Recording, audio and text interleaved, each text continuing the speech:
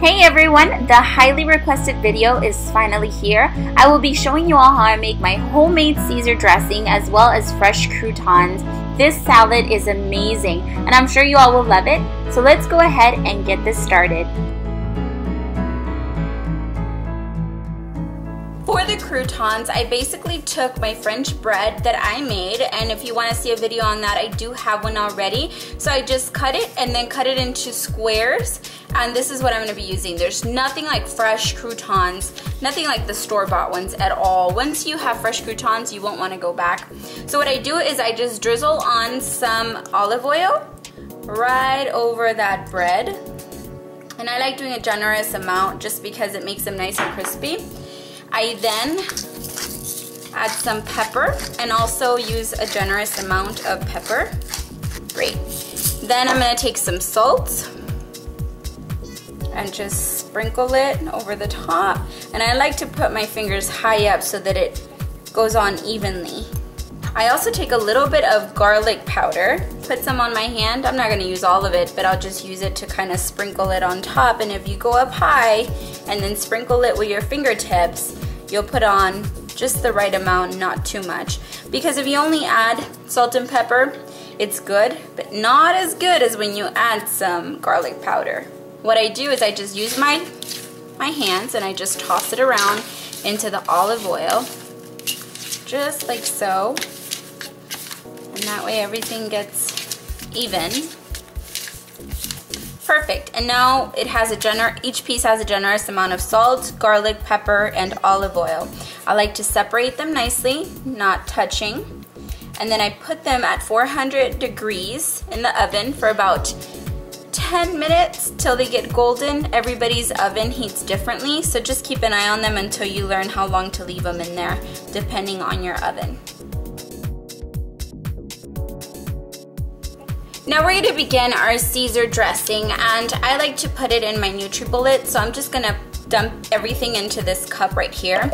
I'm gonna start off with my garlic and I just toss everything, no particular order. This is minced garlic.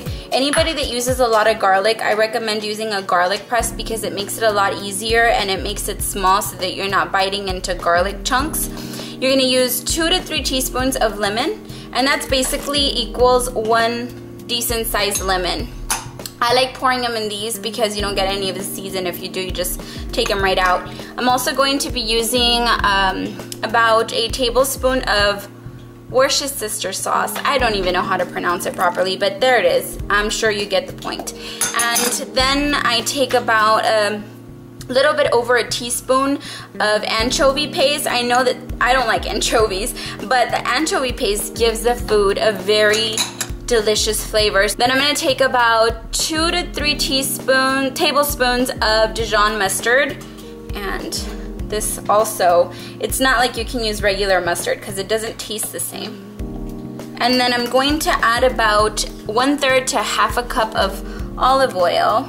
I always eyeball it for the most part, but just for filming purposes, I'm measuring it for you guys. I'm also gonna add about a teaspoon of salt is a half a teaspoon, and I'm gonna add one more teaspoon, one more half a teaspoon, so it equals one teaspoon. And then I'm gonna add a generous amount of pepper. And I like grinding my pepper. Now we're gonna add one egg. I know that a lot of you may not wanna use a raw egg. I think this is a big part in making a Caesar salad. You basically dump your egg in boiling water for exactly one minute and then you put it into your mixture. Um, if you do not want to use a raw egg, then go ahead and use uh, mayonnaise instead. But I can tell you this is amazing. Make sure that you use a grade A or double A grade eggs and make sure that there's no cracks in your egg otherwise you can get sick have salmonella and also when you crack your egg try uh, not to touch the um, the, the shell so I'm gonna go ahead and put this in my boiling water for 60 seconds okay so my egg has been in boiling water for exactly 60 seconds I'm just gonna go ahead and crack it before we put it in the blender I'm gonna go ahead and put in half a cup to a cup of Parmesan cheese. I'm gonna do a half a cup. And then add some more cheese to the salad. Just came out of the blender in just a couple of minutes. It doesn't have to be a lot. And as you can see, there's still some chunks of Parmesan in there, which is fine because it just adds texture and it's very delicious. I love using the romaine hearts. Now, a lot of you will find it a lot easier just to buy them already pre-cut and pre-washed.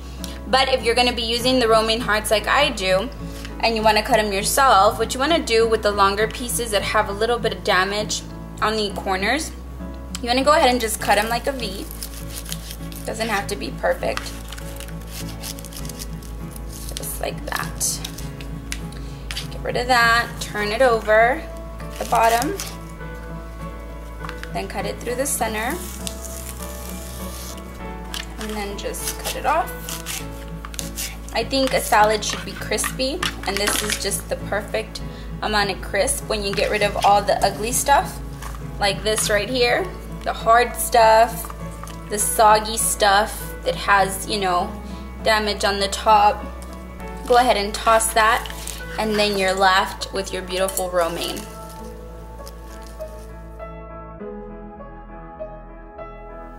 Now the way I do it is I do not prepare it until everybody's ready to eat. Then I go ahead and just throw in the desired amount of dressing and in this case I like it to be well covered but not soggy. So you want to just start off with a little mix and I like using these prongs here that make it a lot easier. And make sure that every piece of lettuce has dressing because I hate biting into salads that have dressings on some and not on others. So make sure you mix it very well. I think that's the key. Toss it right into our plate. Add some fresh Parmesan shaved. Perfect. And then add a few fresh croutons. And you have the perfect Caesar salad. This concludes our homemade Caesar salad video. I hope that you all enjoyed this. If you all try it, let me know down below in the comments. I would love to share your pictures as well. So go ahead and email them to us at JennisseMakeupTV at gmail.com and I'll see y'all really soon with more videos. Take care.